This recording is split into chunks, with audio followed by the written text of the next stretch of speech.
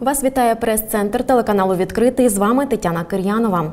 Сьогодні будемо говорити про презентацію нового проєкту Вистава без бар'єрів Полон від громадської організації Патріотичний театр Арт Фронт. В гостях нашої студії голова громадської організації Патріотичний театр Арт Фронт, керівник проєкту Вистава без бар'єрів Полон, актор, військовослужбовець, ветеран російсько-української війни з позивним артист Ігор Кирильчатенко. Виконавець головної ролі полоненого бійця на псевдопіаніст Олег Олексишин, виконавиця ролі сценаристки Добровольської Анна Лисенко. Вітаю вас. Принагідно, що саме таку тему ми сьогодні презентуємо так у День Незалежності. Ми вже вдруге відзначаємо День Незалежності під час повномасштабного вторгнення. Пане Ігоре, розкажіть, будь ласка, що це за проєкт, що він символізує, що передувало саме його створенню? Доброго дня, слава Україні! Героям слава! Усіх зі святом з Днем Незалежності. Е, Виграли ми цей проєкт іще до початку повномасштабного вторгнення. Е, Наш театр Артфронт виграв його е, перед самим повномасштабним вторгненням. І ми зайняли друге місце в рейтингу. Це дуже добре, скажімо так. А де саме виграли? В чому виграли? Український культурний фонд, Так. Так, до речі. Дійсно, Український культурний фонд. Е, Ми виграли на постановку цього проєкту. Е, Спочатку планувалося це на два актори. Е, Олег Шульга, наш актор з театру Віримо, і я. Я планував, Олег повинен бути був грати головну роль піаніста, бійця псевдопіаніст. Я повинен грати був всіх інших персонажів. Мрія актора зіграти всіх, от всіх побратимів, і сепаратистів, і росіян, і всіх, з ким він зіштовхувався на своєму шляху. Але тут трапилось те, що трапилось, трапилася війна. Олег пішов на війну, я пішов на війну. Режисерка, яка подавалася і планувалася, е, вона, яка минулий проєкт наш ставила з незламний, е, вона теж е, переїхала за кордон. Тому і мені Український е, культурний фонд написали, що проєкт приостановлено, фінансування перестановлено, призупинено. Ну, звичайно, всі, гроші на фронт. Так воно і забулося. Уже коли я був у шпиталі, то зі мною зв'язалася е, е, команда Українського культурного фонду і спитала, в якому стані я, в якому стані команда, і чи зможемо ми продовжувати. Е, Знаючи ситуацію, те, те, що Олег на фронті, режисерки немає. Я спитав команду, яка тут лишилася, з менеджерів, які тут, і технічних дир- директорів. Вони сказали, давай продовжувати. Ми зібрали зовсім нову команду. О, Зібрали, знайшли нового режисера, який написав новий сценарій. Уже були події з Азовсталі. У нас проект е, називається Полон. Е, Ми написали, ми його е, по книзі, по мотивам, за мотивами книги Ігоря Михайлишина, автобіографічної бійця добровольчого батальйону Донбас. е, став, ставимо цю виставу. Тому хотіли вже зараз заакцентувати на полонених, які зараз. І ми об'єднали це. Режисер наш В'ячеслав Волконський. Він, я його попросив, щоб він написав сценарій не просто про ті події, події, а це події Іловайської трагедії, події після е, так званого зеленого коридору, влаштованого росіянами, коли бійці батальйону Донбас потрапили до полону. Ми хотіли перенести ці події е, на сьогодення. І в нас вже додавалось е, акторів. На трьох акторів планувалося. Е, На жаль, після операції, а можливо, на щастя для проєкту, я не зміг грати. І ми знайшли чудового актора, от виконавця головної ролі Олега Олексишина. Добавилась у нас жіноча роль. От Анна Пані Лисенко. Анна, так. Е, От, і вистава зовсім заграла іншими фарбами, е, досить цікава. У нас е, ще виконує одну із ролей народний артист України Віктор Гунькін. Він такий емоційний і вносить свої теж фарби цікаві в цей проект. Ну так, от з деякими перешкодами. Вони до сих пір тривають ці перешкоди. Е, от, наприклад, е, планувалося 29 серпня, це ж символічна дата е, виходу із по зеленому коридору. Ми планували до цієї дати, до 9-річчя, е, поставити прем'єру. Але Як бачите, то есть, е, і сьогоднішній обстріл, до речі, показав, що дійсно потрібно перенести. Тому Це росіяни дуже прив'язані вони до якихось конкретних дат. І до Дня Незалежності, тобто 29 серпня для них теж може символічно. І якби ми зібралися всі разом, і автор приїхав, то теж можливо. Ну, тому ми переносимо, до речі, анонсую, що ми, у нас планувалися прем'єри на 29-30 серпня, тому ми переносимо на вересень. Е, Попередньо це 4-5 вересня о 18-й годині будинок мистецтв. Е, Це філософська 23, синя зала. Чекаємо всіх. Вхід вільний, обмеження по віку 18 Така реклама. Залюбки завітаємо. Е, Ви згадали е, так з жалістю, з болем, що ви не виконуєте на, на жаль цю роль, але ми запевняємо вас, що попереду всі головні ролі ваші, і, і все буде у вас добре. До речі, я все-таки виходжу там. я Так, так не так. трошки не договорив. Так, Сюрприз. розкажіть. Я виходжу. Я на початку кажу о, слова, і в кінці кажу фінальний монолог. Це не, не автора, поза яким ми ставимо, а його командира з позивним Лермонтов. Я кажу фінальні слова про полонених, про полон і заради чого взагалі ставився цей проект. Дійсно заінтригували. Пане Ігоре, ви говорите про складнощі, які були і, і зараз ще зберігаються. Е, Скільки ви часу взагалі готували цю виставу і які складнощі долали? Ну, бачите, складнощі з самого початку, як почалися, вони отак вони і не закінчуються.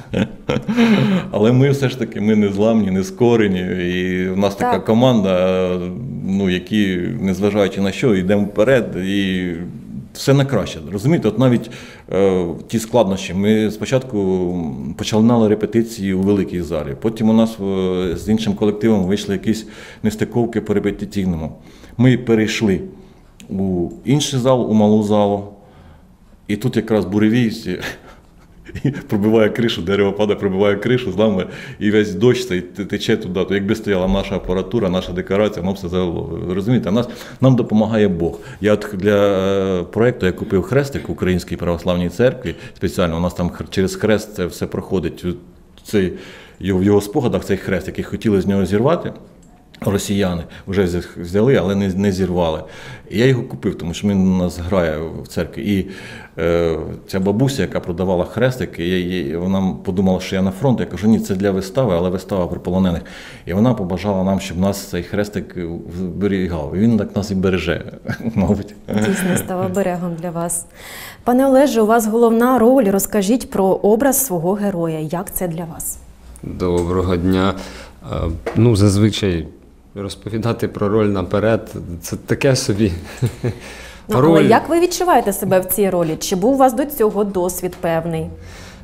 Ні, даного плану досвіду такого не було. Були вистави на воєнну військову тематику, але то була комедія один раз, до речі, теж з Ігорем ми працювали разом.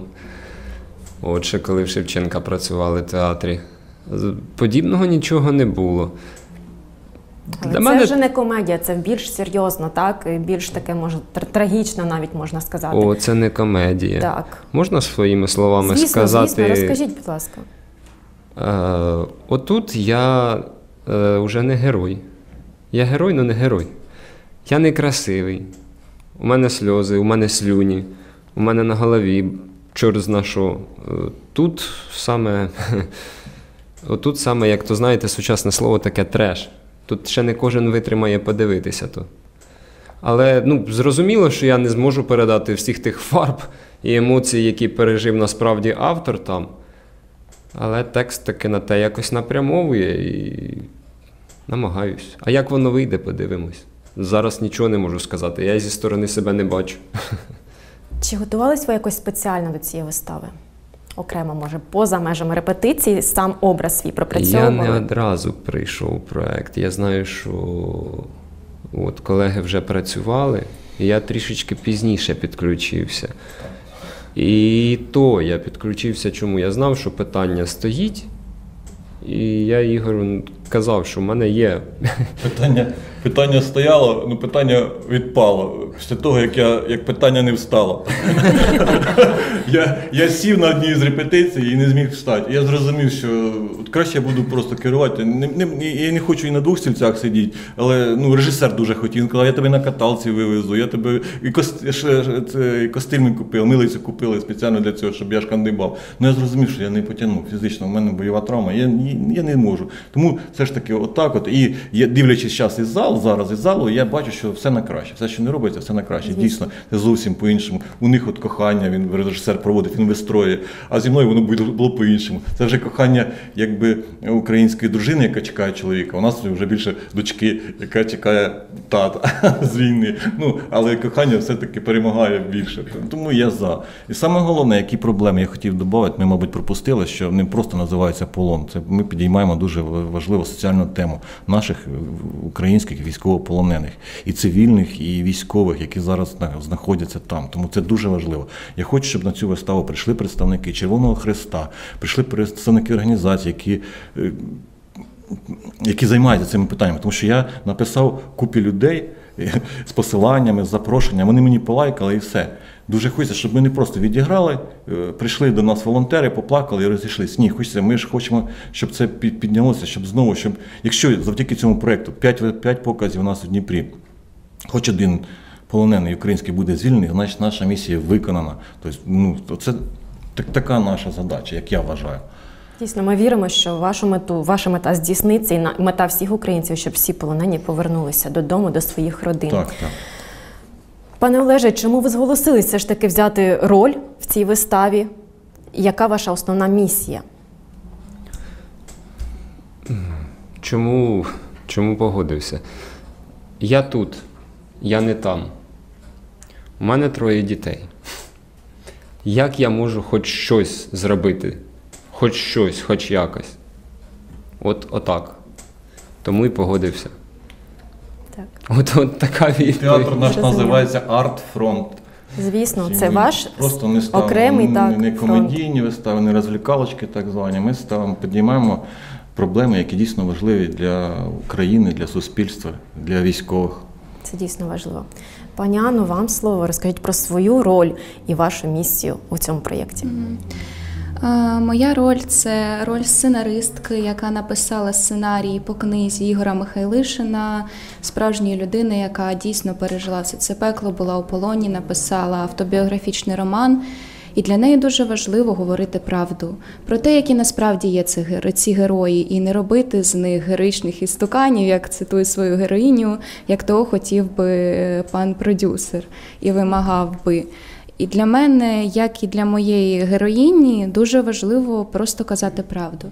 От ну не, не намагатися когось в чому пере- переконати чи комусь щось довести, а просто сказати правду. І дійсно, якщо все зробити правильно, кожен зробить свої висновки і зрозуміє, що для чого і навіщо.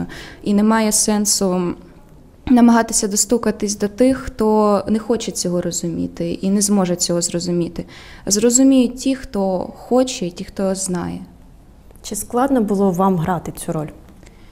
В принципі, ні. Я якось прочитавши сценарій, я одразу побачила в цій е, сценаристці себе.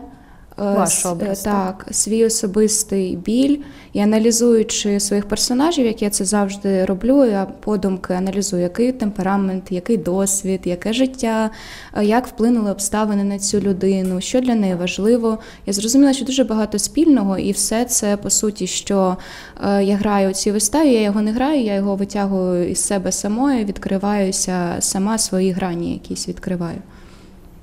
Зрозуміло.